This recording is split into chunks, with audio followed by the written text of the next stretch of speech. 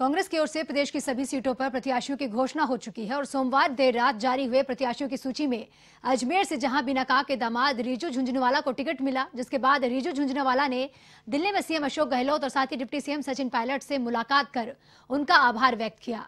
इस मौके पर पत्रकारों से बातचीत करते हुए झुंझुनूवाला ने कहा कि पार्टी आलाकमान ने जो विश्वास उन पर दिखाया है, वे उस पर खरा उतरेंगे। और साथ ही इस दौरान उन्होंने अजमेर में विकास कार्यों को प्राथमिकता देना अपना मिशन बताया। आप भी सुनिए क्या कुछ कहा। जी, मैं ये राहुल जी ने, अपने मुख्यमंत्री जी ने, सचिन पायलट जी ने, अविनाश पांडे ने इतनी बहुत बड़ी ज़िम्मेदारी मेरे ऊपर सौंपी है। और मुझे इस लायक समझा कि अजमेर जैसी महान सिटी को मैं रिप्रेजेंट कर सकूँ। तो इस पर मैं पूरा खड़े उतरने की कोशिश करूँगा। मेरे से जो कुछ भी हो जाएगा अजमेर के लिए, राजस्थान के लिए, मैं वो निरंतर करता रहूँगा। पहली पहली, आखिरी प्राथमिकता सिर्फ़ डेवलपमेंट डेवलपमेंट डेवलपमेंट। अजमेर जो इतना एक महान शहर रहा है इतने सालों से, आज वो थोड़ा पिछड़े उसमें आ गया है उसको कैसे अपनी ऊंचाइयों तक लिए जाए, इसी चीज़ पे मेरा फोकस रहेगा।